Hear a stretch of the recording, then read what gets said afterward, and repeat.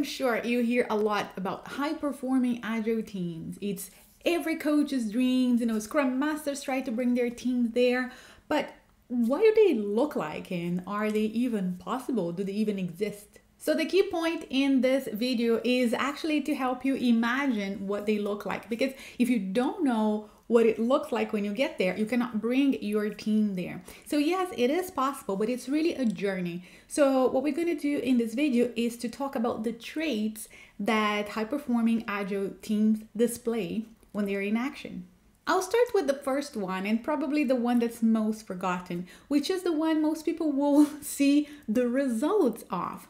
They get the job done no matter the condition. So high performing agile teams are the teams who really can deliver working software, working product, you name it. So um, it's all very nice and dandy to have all that harmony in the team and high morale, but you're not really out there being able to deliver. Ultimately, teams, especially agile teams, they are formed to fulfill a mission. And what you're going to notice is that those teams, they are able to play with scope. They are able to ask all the right questions and they don't give up until they are satisfied. They really know how to um, communicate with the stakeholders. Basically, they do everything that needs to be done so that the work is delivered in the end of a cycle, an iteration, a milestone, whatever have you. And if you don't find this element of completion of goals successfully and with quality, you can't absolutely be talking about high performing agile teams. So to do that, there are ways of working, and obviously those teams' processes um, they do exist, but they are effective in their minimum. There is not much process going on. Sometimes it might seem as if, you know, people just know what to do, when and where and how. And in a way, that is so. But they this team really did work hard to get there. They probably started like any other team you see where you try a bunch of processes, a bunch of way of doing things, and you just get clearer and clearer on how you can do your best work especially because your team is stable. So, certain things that we learn as a team, we no longer need to document and really fill up little applications of the process. We just go ahead and we do them. So that's what it looks like. It, it, they work in perfect harmony. They know what needs to be done because their processes are effective and minimum. I swear, I don't understand why so many people say things like collaboration is expensive and you know invent other ways in which they can streamline work so that people don't have to collaborate. Well, high performing agile teams, they actually do collaborate. They collaborate a lot. They really understand what it's like. And we're talking here beyond, you know, pair programming or can you sit with me in Rubber Duck? Yes, the whole team knows how to build on top of each other's ideas. Um, in fact, there's a lot of like a, the team's idea, not the Petula's idea and your idea. We really just go for what is best and you know how to compose and mix and match. But ultimately, there's also something else. This so called high performing agile teams can collaborate outside of their team. They know how to establish you know human um, and effective interfaces with other teams and with their stakeholders and people who are waiting for some results from the team they understand the value and they understand how to do it so they collaborate everywhere with everyone High performing agile teams know how to keep a sustainable pace.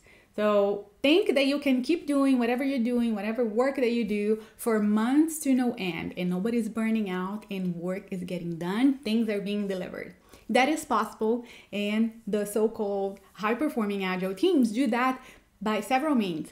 One, they have very clear focus. So they don't just start working on something because someone mentioned somewhere that it's needed they really go to the source, they try and understand, they negotiate, they say no. That's an important thing. I mean, you can't just keep accepting things on your plate and hoping that they will be delivered, even if you're doing it sequentially. I mean, your your pile just keep getting um, bigger and bigger. So people that operate in those teams, they really know how to prioritize. They really know how to work on what really matters, and in the end, because they collaborate so much inside and outside, they know really what's possible and they are very effective and efficient in how they deal with their requests and with whatever is it that they are producing without really rushing through these things.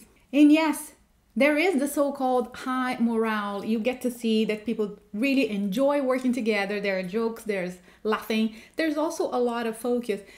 But most importantly, you know, it's not unicorns and sunshine and rainbows, but you really do see a positive attitude, um, can do attitude. It's more like they accept that anything can be done. And the only question is how.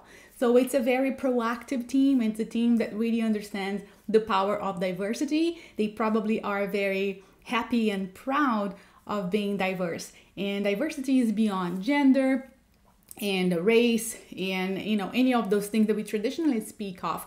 But just think of it every human being is very unique and they're all in different levels of learning in their journey. And when all of this presents itself in a team that is a beautiful space for creativity and for unique ideas to come out. So that is really a huge aspect in the end of the success of the so-called high performing agile teams. So there is one more trait that you should pay attention to, especially if you are the coach trying to get your team to these um, stages of high performance. But that I'll leave for you to read on the blog post down below. You know, I always go a little bit deeper when I write. And while you're there, why don't you just go ahead and subscribe to the newsletter to get content exactly at the time that it's produced and you know that I always have something extra for you in there compared to here in the social media.